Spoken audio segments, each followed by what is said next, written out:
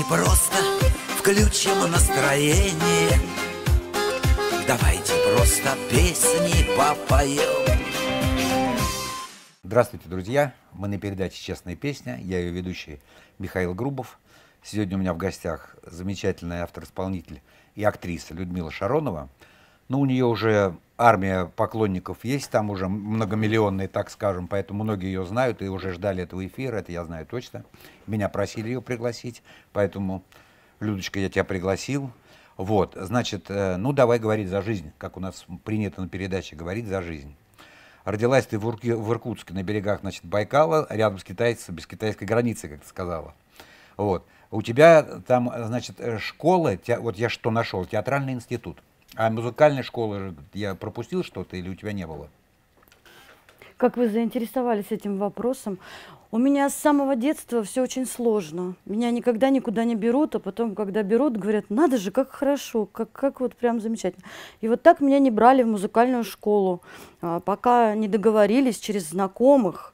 Вот, меня взяли, я ее прекрасно а, закончила, и по классу фортепиано, и с самого детства сама себе аккомпанировала на фортепиано и пела всевозможные романсы, а, на что очень ярко реагировал мой брат и сказал, что он не хочет возвращаться домой, потому что там все время она поет. Вот, и он до сих пор, у него травма детства.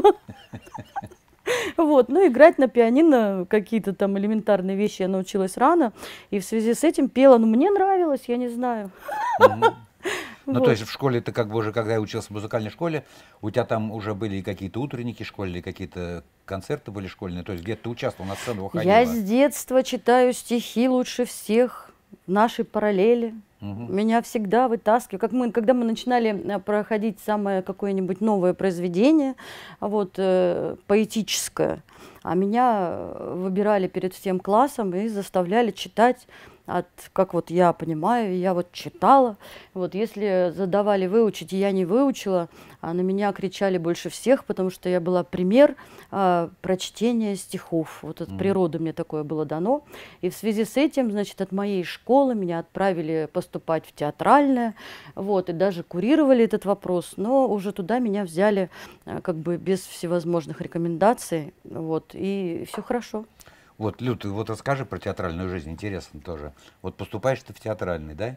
Раньше, по-моему, же не, э, ты когда поступал, не был бюджет, не бюджет, это же было э, до этого, да?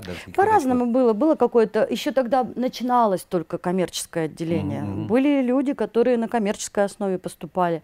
Но со мной была история такая – я с утра как-то однажды утром проснулась и услышала объявление по радио, что осуществляется набор на факультет актер театра драмы, и вот он будет проходить такого-то, такого-то числа, э, на-на-на. Я думаю, так, сейчас стану с правой ноги или с левой, с какой надо встать, чтобы ну, исполнилось желание или что-то такое. В общем, встала двумя ногами и отправилась искать актерско-драматический факультет драматический, да, чтобы стать известной актрисой. Вот, пришла туда, мне сказали, что а, экзамены начнутся уже вот-вот, скорее всего, вы не успеете подготовиться. Ну, я сказала, что я уже много читала, много знаю, я обязательно подготовлюсь. А начались экзамены, это тоже можно долго рассказывать. Значит, прошли экзамены, и последний какой-то экзамен, стоит толпа народу в коридоре, и вот называют какие-то фамилии. И все, кто остался в коридоре, чью фамилию не назвали, тогда еще это было так, а мы все решили, что нас не взяли. Все расстроились, кто-то сел плакать в уголке. Я подумала, ну ладно, у меня, по крайней мере, еще 11 класс остался. Это же был мой эксперимент. Я после 10 поступала. Вот. Думаю, остался 11 класс, и что в 11 классе буду доучиваться. Вот, и как-то так. И потом, наоборот, вот те, кого позвали первыми, они вышли грустными, и все разошлись. Оказалось, что не взяли их, угу. а взяли нас. Это была такая вот обманка. Ага. Вот, и в результате, значит, когда я зашла, а, на всех посмотрели, значит, так строго, и сказали, мы, конечно, всех взяли, все хорошо. Вот хотелось бы сказать про Шаронову. А, знаете, вот сейчас впереди лето, а, обучение начнется с сентября, а мы бы очень хотели, конечно, э, чтобы вы похудели. А тогда я была, если не 44-го, то, может быть, 46-го. Я не совсем поняла, сказала, что, возможно, к сентябрю я, конечно, успею. Но летом я буду отдыхать у бабушки. А там пирожки, все дела. А, Вот. И когда я училась, конечно же, мне очень помогали всевозможные дисциплины, которые есть а, в театральной программе. Это танец, сцен-движение, не знаю, там всякие разные спортивные. Да, актерское мастерство. Я помню, у нас даже мы репетировали какой-то спектакль со шпагами, прыгали туда-сюда. В общем, все это было достаточно интересно. Нагрузки были, в общем. Толстой я никогда не была. Или, Мгм. как говорила одна знакомая, толстых у нас в бараке не было. Вот. Ну, слово толстый как бы не очень правильно ты говоришь. Нет, пускай будет полное. Толстый не... Ладно, что уже теперь. Да, но просто это не комплекс должен, должен Ну, быть. зато это позволило мне сыграть Белотелову, например. Ага. Вот, я ее прекрасно играла, потом с меня снимали какие-то подушки, я тут же превращалась в капочку и бежала играть капочку. И, собственно, я считаю, что я разноплановая такая артистка. Мгм. Вот. Слушай, Люд, но если у тебя музыкальное, э, значит, образование как бы за спиной, да, ты идешь в театральный, то есть ты как бы как э, э, певицу себя не, не планировал в свою жизнь, да? Ну, да, вот. Честно сказать, э, песни я начала петь от того, что это все очень взаимосвязано. Очень многие артисты поют. Мы же знаем пример Миронова, там, ну, можно бесконечно называть. Вы же сами знаете, когда актеры поют, поющие актеры. Естественно, когда ты учишься, а, где ты можешь подзаработать лишние деньги? Где-то попеть. А многие даже известные актеры, которые не умели петь, они научились петь, чтобы потом ездить, а, рассказывать, как они снимались в том или ином кино и спеть несколько песен, чтобы как-то вот Ну ладно, ты прямо вот так готовилась к этому, что Да ты когда-то будешь ну ездить это я потом с уже поняла. вечерами. Даже мало поющие люди поют. Вот, а мне-то уж сам Бог велел, собственно. И у нас многие отправились покорять просторы ресторанов. А вот э, первыми это сделали мои однокурсники, одни из первых. И потом меня с собой захватили. Я помню, я там э, какие-то па выдавала всевозможные, вот, распевала всевозможные песни. Одна из них была такая. Алло, алло, Джеймс, какие вести? Давно я дома не была. 15 дней, как я в отъезде. Ну, как идут у нас дела? Стоп, хорошо, сейчас послушаем, посмотрим композицию, а потом уже продолжим разговор. Но ты все-таки мне не ответил, я сейчас тебе еще раз прошу. Сейчас слушаем Людмила Шарон, Шаронова, «Ягода горькая». Смотрим, слушаем. Поехали.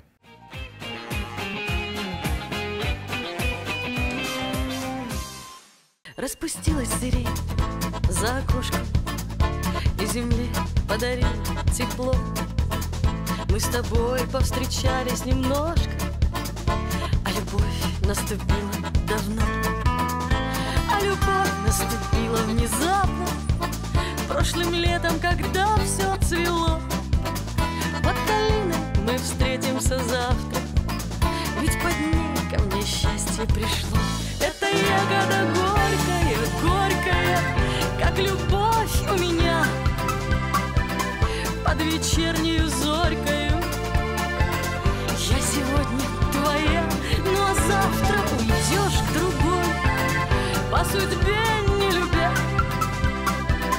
Это ягода горькая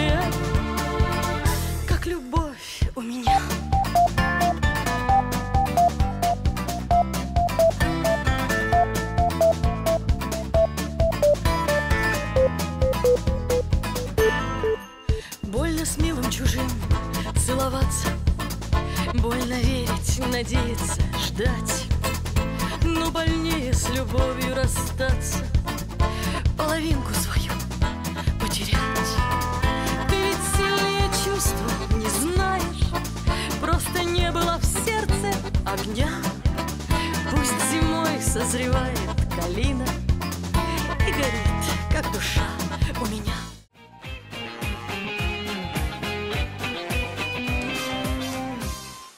Я все-таки хочу понять, Люд, ты готовила себя к певице или к актрисе, к драматической? У тебя внутри что было у девчонки, у той молодой?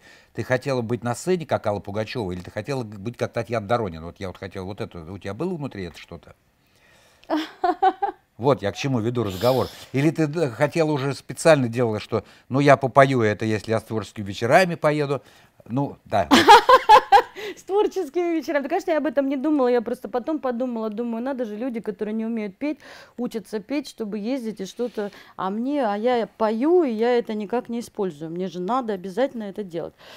Все случилось само собой. Мгм. Оно все шло само собой. У меня изначально был какой-то ровный такой э, хороший путь, без всяких терниев. Я никогда не думала, кем я хочу стать или что-то, что-то. Я вот пошла и поступила, и думаю, блин, а ведь я, оказывается, так прям мне все нравится, все так хорошо.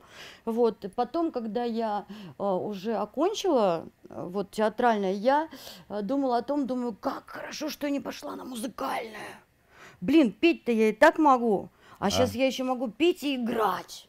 Ага. И что-то еще рассказывать. И, и знать еще, что можно как-то так петь, а еще о чем-то там подумать. И спеть не так, а вот так. Это же театральное образование, оно дает очень много и певцу, то есть исполнителю. Оно дает очень много. Есть же люди, которые не обладают шикарным голосом, там, «Ху-ху-ху», там как кто-то, кто-то, но тем не менее их слушаешь и завораживаешься, да? Ну как, как Вот, тоже что там нет, Караченцев. есть такой актер. Это, это неотъемлемые две части. И я вообще считаю, что поющий актер это такая вот отдельная ипостась. Мгм. Да, есть же не поющие актеры, а есть э, певцы, которые не актеры. Ну хорошо, давай все-таки пару слов об, э, об ВУЗе, о ВУЗе. Вот э, как у тебя там вообще учеба проходила? То есть у тебя там не было то, что там э, пересдачи, какие-то хвосты, там что-то, сессию сдала, не сдала, прогулял, не прогулял. И ты прям на одном дыхании все легко у тебя прошло, и ты как бы все счастливый с дипломом поехал дальше жить. Вообще, как бы, да, на одном дыхании у нас педагоги очень поддерживали нас. Там просто очень много можно рассказывать, просто погрузиться туда. Юность это всегда у каждого человека самая приятная, самая да. вдохновенная, самая легкая пора. Мгм. Вот. Потом, когда появляется работа, я устроилась в свой первый театр. Это было в городе Ачинск под Красноярском. Я там играла графиню Вишню, что-то еще не помню уже. Но уже я подумала, блин, как хорошо все-таки в Иркутске, но по большому счету мне бы хотелось в Москву. Мгм. Вот, ну, хотелось и хотелось, но кто меня туда отправит? Мама сказала, что они никак не думали с папой, чтобы дочь содержать где-то в Москве. Поэтому, если ты хочешь, ты, конечно, можешь сама, но лучше где-то в Иркутске обосноваться. И, собственно, такой перспективы особо у меня не было, а, чтобы отправиться куда-то в столицу. И я даже об этом не думала. Я очень легкий человек. Если мне на, насчет чего-то говорят нет, ну нет, так нет. Я иду дальше куда-то. Ну, пойду направо, пойду налево, буду что-то делать другое. И, собственно, я считаю, что это правильно, потому что а, если есть мечта какая-то или что-то еще, она исполнится, но каким-то путем, а, который мы, возможно, даже и не знаем. Не планирую. Но это реализуется, да. Поэтому надо всегда отпускать ситуацию, и она как-то вырулится. Вот. И у меня случилось такое, что было мое выступление в ресторане, куда пришла какая-то толпа народу. Вот. Все были достаточно такие влиятельные люди. э, Ну, в общем-то, я пришла на работу такая, прискакала, мне говорят, идите попойте, там попросили попеть. Я пошла попеть, э, ну, я тогда какие-то песни, конечно, пела, но в основном под э, колонки, там, пульт, что-то такое. Тогда еще не помню, вообще магнитофоны, по-моему, были. Мини-диски были. В них эти вста- мини-диски были потом. А, это Тогда во- еще вообще с ничего не еще было. даже У меня, было, да? мне записали какие-то на кассеты, там 10 фонограмм, короче, 10 этих песен кончились достаточно быстро. Мне пришлось у кого-то взять гитару, и то, что я научилась еще там три аккорда играть, кто-то меня научил, и я начала петь свои песни. И вот в то время я уже исполнила песню «Поезд» у меня была, Мгм. вот, уже появилась песня «На пороге весны», вот, я их спела. И все, нам что-то там, как это, гонорар какой-то для артистов нам выделили, и мы все отправились по домам. Через неделю я опять появляюсь в этом ресторане, мне сказали, вас искал мужчина, который был вот на том мероприятии, и вот э, оставил телефон. Я ему позвонила, говорю, что случилось? Он говорит, вы знаете, в Москве пройдет новогоднее торжество, я вас приглашаю. Я очень богат. Я баснословно богат. Я Вот вас так. приглашаю, да. Вы поедете за 2000 долларов? Я говорю, вы знаете, надо у мамы с папой спросить, поеду ли я Мгм. за 2000 долларов. Я говорю, «А нельзя как-нибудь здесь, что меня возить-то туда-сюда? Вот, но тем не менее, значит, э, мама с папой сказали, ну попробуй. Вот, э, в общем-то, отправили со мной еще двух музыкантов, со мной ездили. Очень интересные два музыканта. Один на клавишах играл, другой на гитаре. Вот, э, тот, кто играл на гитаре, тоже у нас э, в Иркутске достаточно известный человек, зовут его Сага, играл он просто отлично, и до сих пор, я думаю, у него все хорошо. Вот мы прилетели в Москву, нас поселили в гостинице «Россия», тогда еще она была жива, вот это Мгм. сейчас ее нет. И как в том фильме «Карнавал», искать будете, не найдете. Вот меня поселили в одном конце гостиницы, музыкантов в другом. Вот, и я их все время ходила там по кругу, искала. Вот, ну вот, оказавшись в Москве, мы с ними выступали. А, так как первый кор- корпоратив прошел удачно, этот баснословно богатый наш спонсор начал нас, так сказать, предлагать на другие какие-то мероприятия. Я выступила в нескольких э, достаточно интересных заведениях, в частности, а, в доме актера Яблочкиной. Вот для меня это было крайне, как сказать, почетно. И потом дальше что-то, что-то. Вот, э, вместо двух тысяч долларов мне заплатили гораздо больше. Музыканты обиделись и больше со мной не общаются. Потому что им заплатили меньше. Мой грех. Но это был Вот. твой не окончательный приезд в Москву, да? Ты вернулась потом. Я просто осталась тогда. А, то- вот и все, и тогда ты осталась. Вот тогда я осталась, да, это был 97-й год, и стала здесь продолжать э, заниматься творчеством. Вот, э, попыталась устроиться в театр, но история оказалась какая-то бесперспективная, что-то меня там как-то не так. Вот. А вот именно с пением все пошло гораздо лучше. То есть э, мои песни, они меня всегда спасали в всяком безвыходном положении. Я всегда могла где-то что-то спеть, и это всегда мне помогало. Ну, мы просто перескочили уже, что ты в Москву приехала. У тебя, в общем, у тебя в, в итоге победила песня все-таки. И вот когда ты начала уже свои песни как бы а, официально предлагать людям, что вот, ну, не, не людям в смысле петь, а уже показывать людям и сказать, что да, я этого могу делать, я это умею. Когда у тебя началась вот эта вот творческая вот эта уверенность в, в своих э, силах как автора? Я сейчас вам открою небольшой секрет. Открой. Но мне кажется, это ни для какого артиста никакой не секрет. А Всегда артист, когда записывает свои песни, он их начинает кому-то показывать. Мгм. Вот, допустим, у тебя есть какие-то близкие друзья, там, Маша, Катя, Петя. Ты, с- они говорят, ну сыграй, сыграй что-нибудь, сыграй. Ты вот берешь гитару и играешь. И, так сказать, публика, зрители, ну или те люди, которые сейчас находятся в данной роли, они говорят, «А, как хорошо, тебе надо куда-то двигаться, тебе надо что-то делать. Так нельзя оставлять. Вот, мы знаем там кого-то, у него студия, пойдем запишем там, мы с ним договоримся. И вот у меня получилось так, что сами люди стали меня толкать на подвиги. Мгм. Вот, и таким образом, история там, конечно, более витиеватая, если давай рассказывать получится перед- долго. Перед историей все-таки еще одну песню послушаем, посмотрим, хорошо? А потом продолжим. Классно, мне с тобой очень легко работать. Красное на белом слушаем Людмила Шаронова. Смотрим, слушаем. Поехали.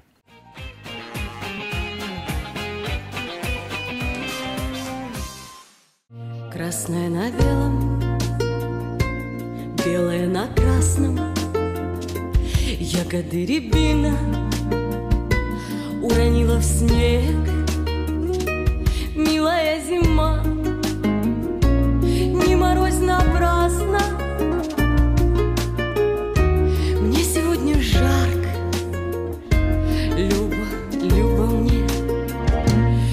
словно пламя.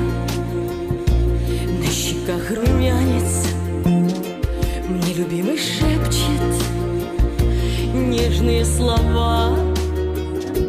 Подскажи, рябина Как же нам расстаться?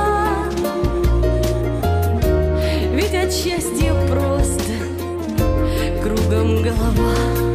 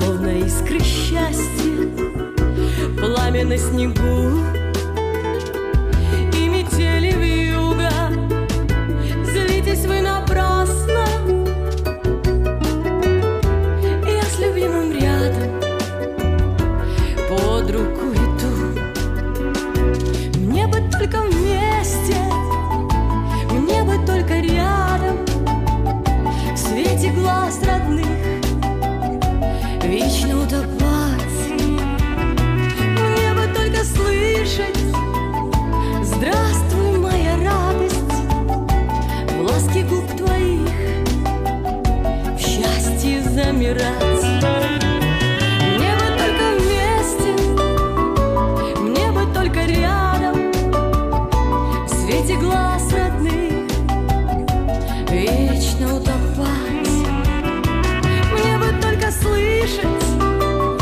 Здравствуй, моя радость. Ласки губ твоих В счастье замирать.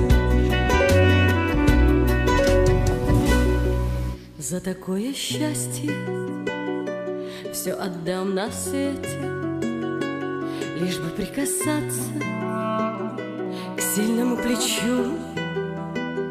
Вдруг к тебе ворвется в душу грустный ветер С нежностью своей в сердце прилечу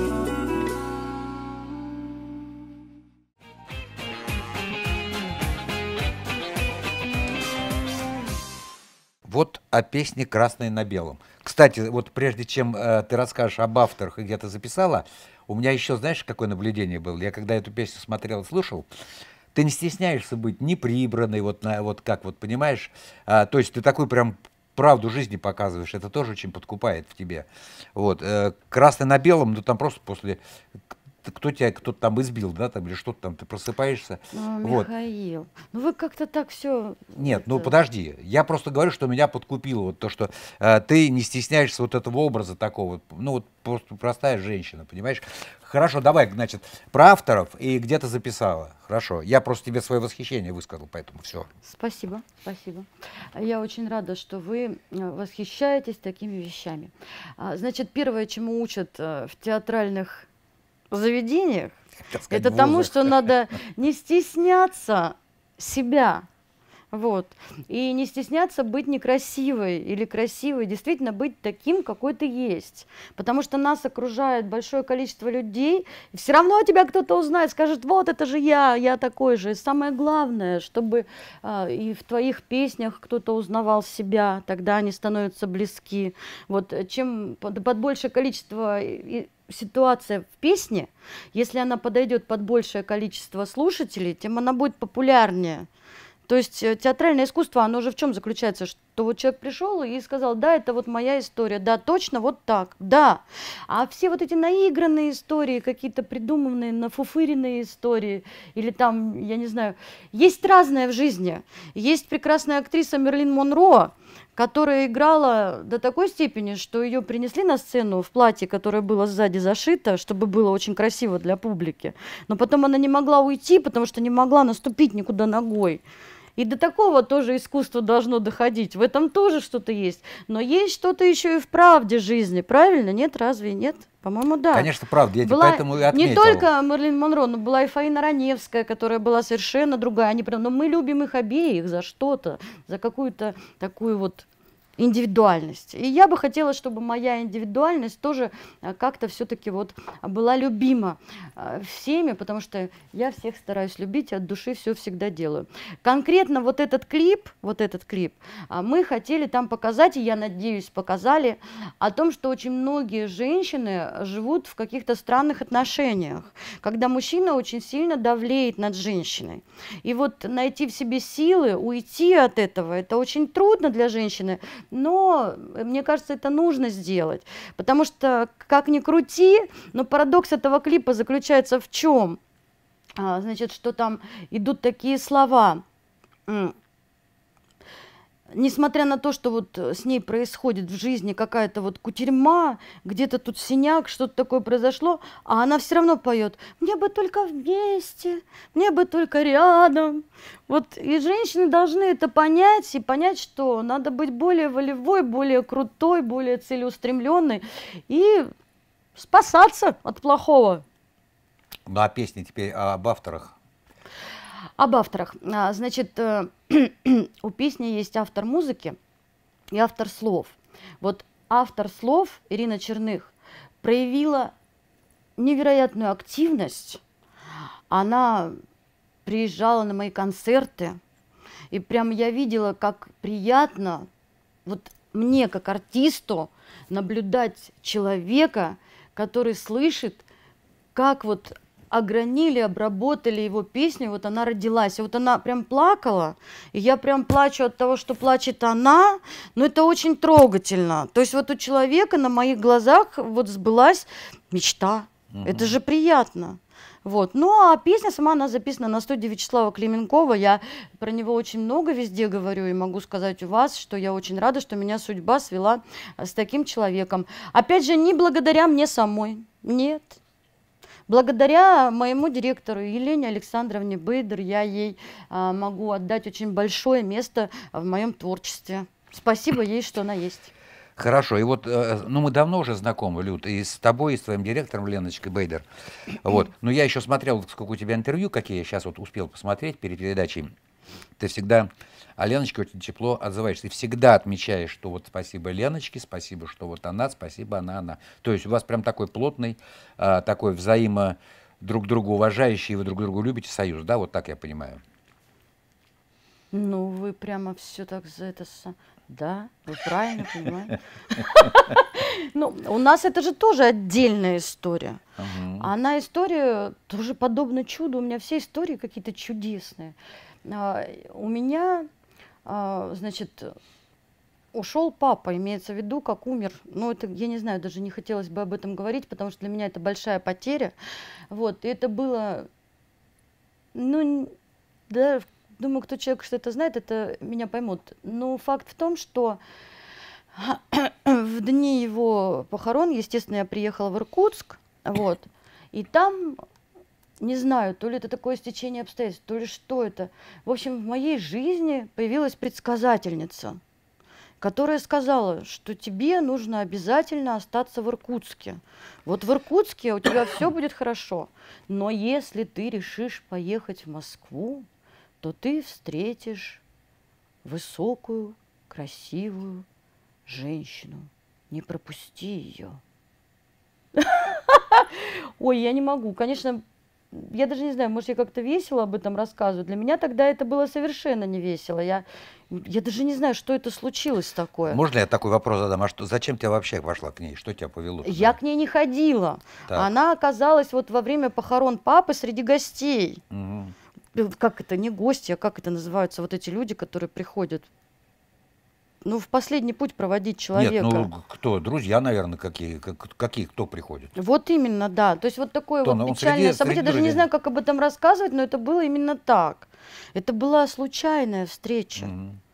Ну, я особого значения не придала, я вспомнила ее слова потом, когда действительно встретила Елену Александровну. Вот, и потом мне как-то не пропусти высокую женщину, у меня как-то возникло, я думаю, блин, неужели она? Но я вот уже где-то говорила, что ее невозможно было пропустить. У нас же было, мы уже знаем друг друга на протяжении, в принципе, 15 лет. А У нас, как у всевозможных других людей, мы и ругались, и, собственно, пытались как-то отдельно что-то делать, но потом опять возвращались к тому, что вдвоем у нас все получается гораздо лучше. Вот сейчас мы с ней обдумываем написание книги, потому что уже накопилось очень много совместной информации. А есть братья Грим, а мы будем какие-нибудь сестры, наверное. Вот, напишем что-то про шансон. Я не знаю, но вот благодаря ей она начала всела- вселять в меня уверенность э, и сказала, что ей очень понравились мои песни, и она будет мне помогать как директор. Мгм. Ну, а мне, собственно, как, э, я же не могу сказать, у меня же не стоит строй директоров там.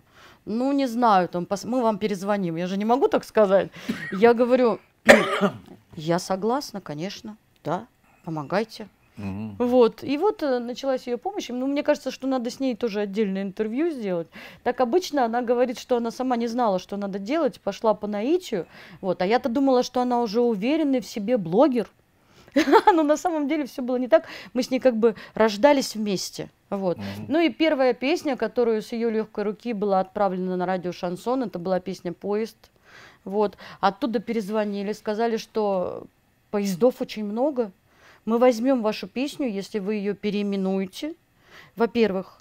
А во-вторых, измените там какую-нибудь строчку. Там была строчка, а, а я подумаю, не глядя на часы, сейчас, наверное, ты отпустил усы. Культурная строчка очень. Но редактору в тот момент радио она не понравилась. Он сказал, что я возьму эту песню. Песня очень хорошая, но вот эту строчку замените. Все вокруг, другие люди, стали говорить, ой, да они просто не хотят брать. Сейчас ты поедешь, перепишешь эту строчку, они скажут еще что-то не так, потом еще что-то не так. И все время будут придумывать какие-то причины, в результате песню не возьмут. Вот что я слышала со стороны. Но я подумала, думаю, правда, строчка какая-то кривая. Даже не для них, но перепишу для себя. Вот. И я поехала, а я подумаю, что где, где-то же он есть, мой райский остров, почему не здесь? Заменила вот эту строчку на эту. Вторая строчка мне пришла достаточно легко во время уже моего пути на студию. Она просто вот я туда вхожу и думаю, вот, да, вот так записываю, вот ее мы перепеваем. Слушаем, смотрим поезд. Хорошо?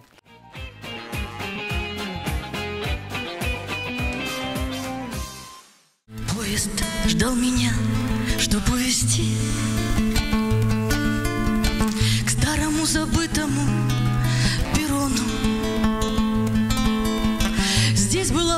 была проездом я, прости. Снова сердце потянуло к дому. Подними глаза, скажи прощай. Только не целуй, я умоляю. Гор мне золотых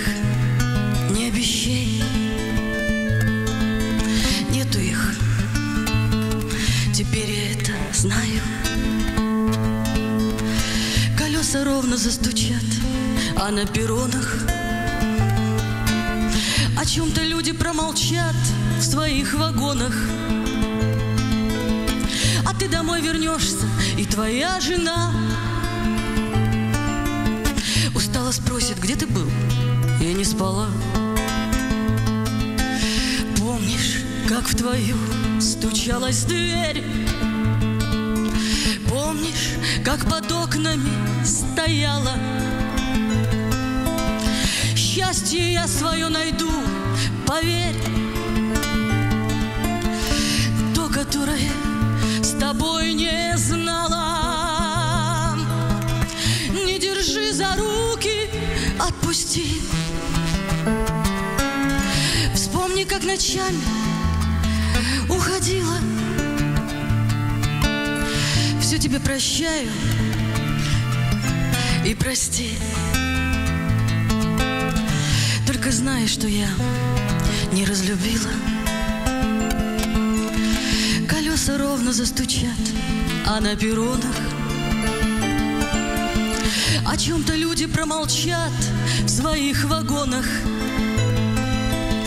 А я подумаю, ведь где-то же он есть райский остров, почему не здесь? Колеса ровно застучат, а на перронах о чем-то каждый промолчит в своих вагонах. А ты домой вернешься, и твоя жена устало спросит, где ты был?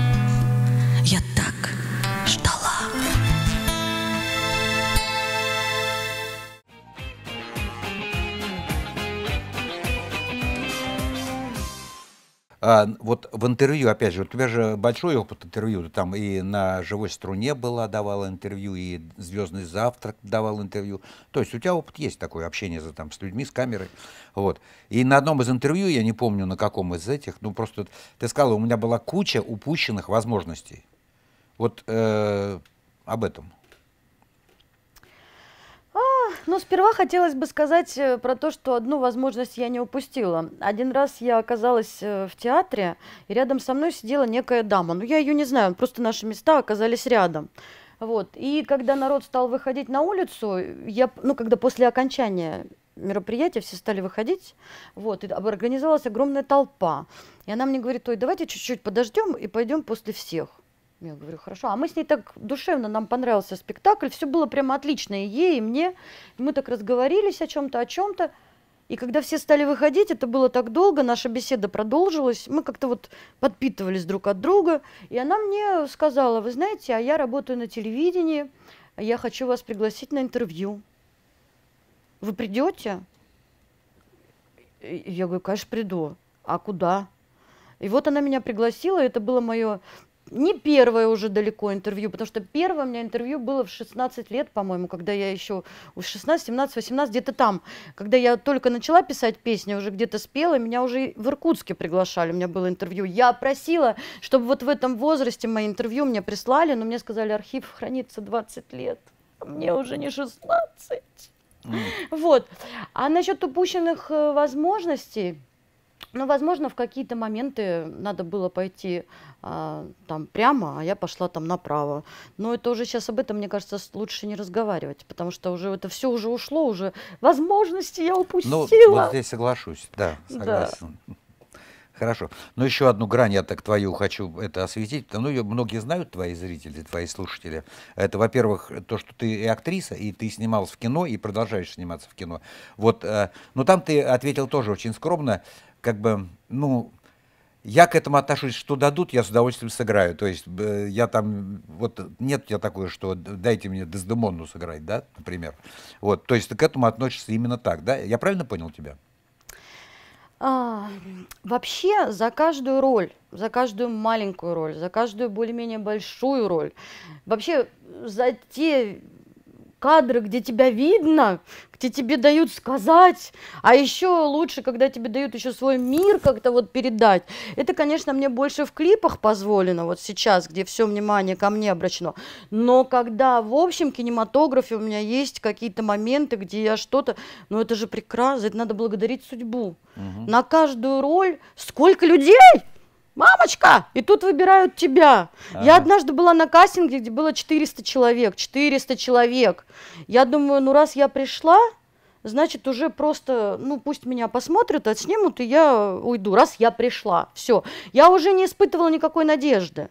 Там были просто за дверью какие-то, какая-то дама, она с разбегу кинулась. Я говорю, девушка, ну у вас 150 номер, а у меня 70 Я все равно впереди вас. Она, Хо! и вошла туда, и тут же ее вышвырнули оттуда обратно. Все равно она раньше меня не вошла. И когда мне после этого 400 человек, где было на место, позвонили сказали, мы утвердили вас, Мгм. я сказала, ну, спасибо тебе, Господи, еще раз. Ну, тебе это нравится, это кайф, да? Ну, кайф, когда, конечно, когда ради тебя все собираю, когда у меня столько знакомых людей, которые мне делают прически, грим, когда тебя вообще делают другим человеком. Однажды мне показали, на какую роль меня приглашают, а это была Монсеррат Кабалье, поющая и мне говорят, ну попробуйте что-то в этом духе. А я поющая шансон, где я, где опера. Я говорю, вы знаете, ну я романсы какие-то могу. И, значит, начала петь «Отцели уж давно хризантемы в саду». Ну что, ну взяли. Я была крайне удивлена, но оказывается, вот это Мгм. оказалось моей ролью. Да и много-много разных примеров. За все благодарю и за клипы, и за все, что в жизни моей вот есть. И даже вот за то случайное интервью, как я оказалась рядом с девушкой. Но это, это просто волшебство. И мне кажется, что в, в жизни любого человека присутствует волшебство, если он искренне чего-то хочет. Это мой, это мой гимн. Это твое кредо, я это подчеркнул тоже из твоих э, интервью, потому что ты сказал верить в чудеса. И они обязательно, это тоже твои слова, и они обязательно сбываются. Я с тобой соглашусь в этом плане. Хорошо. И мы с тобой, давай еще, ну все-таки мы, не- мы э, про Сергея Иванова ты не рассказал, с кем ты работал, Царство Небесное. Пару слов, о, о- значит, о соавторах своих. И, наверное, уже подходит к концу у нас передача, к сожалению. Хорошо. А, Значит, смотрите, э, раз у нас к концу передача подходит, хотелось бы сказать про начало. Михаил, Скажи. Вы выступали на моем первом, первом сольном концерте в Москве в ресторане «Бутырка». Вы были один из первых людей, кто меня поддерживал. И я это искренне помню и вам благодарна. Правда, мы с вами не стали до сих пор соавторами, в чем я очень, так сказать, э, расстроена. Но я думаю, что у нас есть время исправить эту ситуацию. Это раз. Это раз. Да. А второе, такой замечательный человек, как Сергей Иванов, он подарил мне песню «Реквием». Ну, конечно, я не могу не сказать и про Дмитрия Лавинчука, который написал музыку к этому произведению. Вот. э, Сергей Иванов, он сейчас его с нами нет. Вот, и это искренне жаль, потому что он был прекрасный автор, который рождал произведения, вот раз, раз, раз, раз, они появлялись на свет, и такие все были глубокие, приятные, ну вот и легкие, и в то же время вот глубокие одновременно. Это же тоже надо уметь. Это я только потом узнала, на какой глубины был этот человек. Я его так не видела, когда мы встречались в жизни. Я потом просто услышала, что о нем стали говорить после того, как его уже не стало с нами. И я поняла, что это был не тот, кого я представляла себе. Он был гораздо глубже и интереснее мужчина и во всех смыслах. Вот. А, И, в общем-то, я ему благодарна, благодарна его супруге Марине Лотковой за то, что она вот э, до сих пор разрешает мне исполнять эту песню, и я ее буду исполнять. Она настолько, ну, в общем, я думаю, слушатели послушают, оценят сами, вот. Но вот как он мне тогда сказал, когда отдавал эту песню, я помню, он позвонил и сказал, что а, я, кстати, вот как я сейчас тоже говорю, он сказал, что я тебя немножко не так воспринимал, но вот сейчас я тебя понял, и я понял, что ты справишься вот именно с этой песней. Я хочу ее тебе дать. Пой, Людочка, пожалуйста. И всегда поддерживал, поэтому только добрыми словами могу про него сказать. Спасибо, Людочка, огромное, что ты приехала, что значит, посвятила какое-то время э, нам этой передаче. Несколько слов, значит, зрителям нашим скажи, и я тебя благодарю. Зрителям я могу сказать только одно, что мы с вами сейчас живем в такое время, когда просто необходимо слушать песни. Вот, потому что они спасают, лечат, заставляют отвлекаться, не думать о чем-то плохом и приносят в нашу жизнь исполнение наших желаний. Я вот уверена, потому что мне, мне нравятся песни слушать, я их люблю, и очень рада, что есть люди, которым нравится слушать мои песни, потому что уже многие люди исполнили в ТикТоке мои песни. Пожалуйста, продолжайте, мне очень приятно слушать, и у меня так же, как у всех авторов, слезы на глазах, когда они слышат свои песни в исполнении других, то есть они понимают, что их песни услышаны. Это значит, что вы любите меня, и это значит, что я не зря их пишу. Вот так вот. Всегда ваша Людмила Шаронова. Спасибо, Людочка. Мы были на передаче «Честная песня». Верьте в чудеса, слушайте честные песни. До встречи. Пока.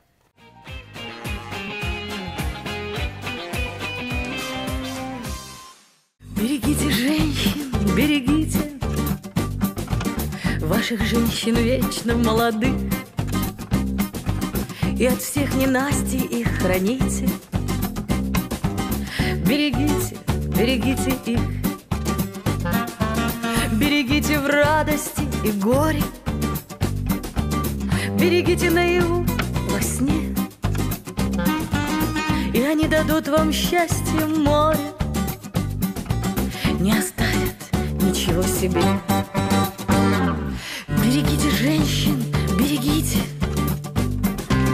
и не надо им судьбы иной. Если захотите, окунуться в омут с головой. Им бы только чуточку внимания и любви живительный глоток и совсем немного понимания и приятных нежных слов чуток.